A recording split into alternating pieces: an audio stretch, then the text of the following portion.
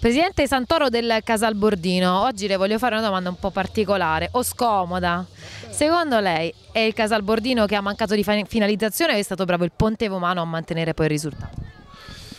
Allora, il Casalbordino sicuramente ha avuto le sue pecche, il Ponte Romano non, non, userei il termine bravo, è stato furbo, che è diverso dall'essere bravi. E, è ovvio che io un pochino da recriminare, anzi tanto ce l'ho, perché quando una squadra va a giocare una partita di calcio e dimentica che quello è un gioco e quindi pensa solo al risultato, fa in una stessa azione 4-5 falli brutti in maniera sistematica, si appenda la maglia, non ti fa giocare a calcio e ragazzi va bene che è l'eccellenza, va bene che è un campionato importante, però non dimentichiamoci che questo è un gioco, quindi bisognerebbe poter giocare a calcio e non si può penalizzare e non tutelare le formazioni giovani che tentano di giocare sempre e comunque senza fare falli e cattiveri, non è giusto. Mister Aureli del Ponte Vomano, allenatore in seconda di Mister Cifaldi,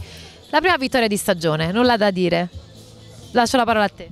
È una vittoria che aspettavamo da tanto, importante, che ci dà morale. Abbiamo raccolto oggi quello che abbiamo seminato in queste settimane dove i risultati non arrivavano, abbiamo continuato a lavorare bene, con voglia, con determinazione, i ragazzi si sono applicati e